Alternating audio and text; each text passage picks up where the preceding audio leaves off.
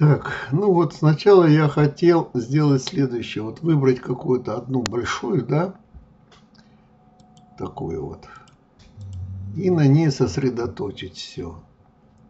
То есть три с половиной был у меня э,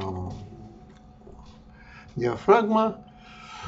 Ну, потом я что-то так подумал, мне не понравилось вот это размытое. Там вроде бы нормально, а вот эта часть, как бы я не привык к этому. Поэтому я потом переставил немножко, но промахнулся. А затем стало уже то, что мне нужно. Я поставил 18, ребят. И вот здесь я уже по-разному светил, но это я сдвинул, вернее не я, а есть один такой собакин. Вот, так, ну-ка. И вот, которую мы с вами последний сфотографировали. Вот она, она, да?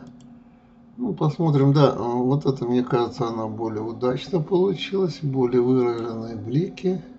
Хотя, если мы вот тут чуть задерем, мы получим то, что нам нужно.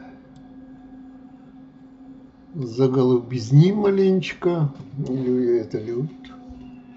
Так, посмотрим, что у нас со цвета. Свет у нас нормальный. Я говорил, что здесь навряд ли нам что-то удастся еще в фотошопе поработать, да, четкость может быть. Удалить дымку. Наоборот, ее добавим. Красочность.